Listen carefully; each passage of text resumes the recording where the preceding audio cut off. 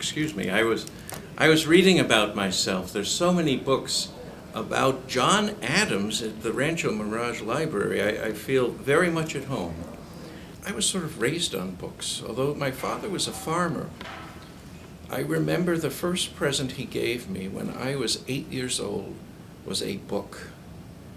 And I wrote in my biography, and I'm sure politicians of today would never write this, but I said I lost all interest in sports and girls when I found this book.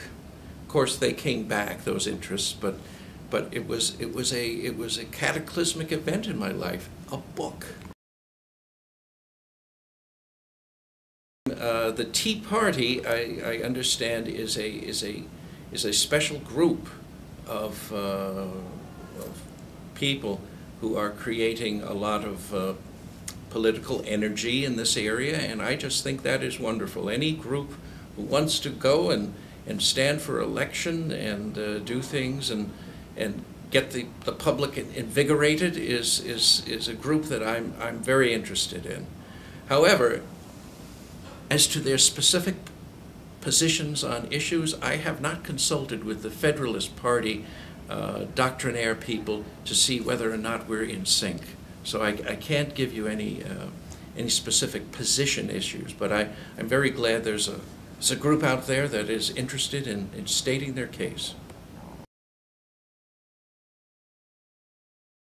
I would say one of the great th things about this country from its beginning is that it's taken immigrants and it's made them Americans.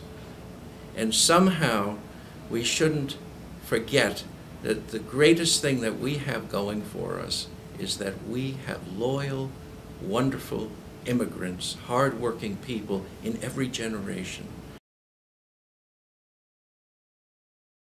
From my perspective in, in New England, we've always been worried about uh, about the cold. I think a way of doing it would be uh, for us to be more educated in other people's ideas and cultures.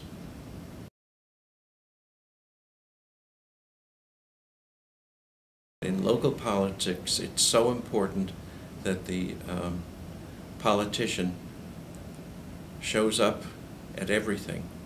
That means you have to show up at people's 70th birthday, and you have to show up at somebody's first communion, and you have to show up at, and the more you show up, the more people talk to you about important issues, and the more you also know what should be done.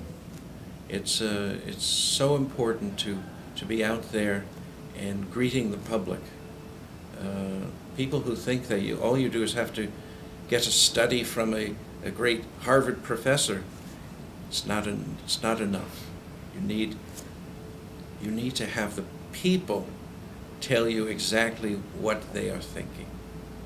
And the only way you get that is by just steeping yourself in the public.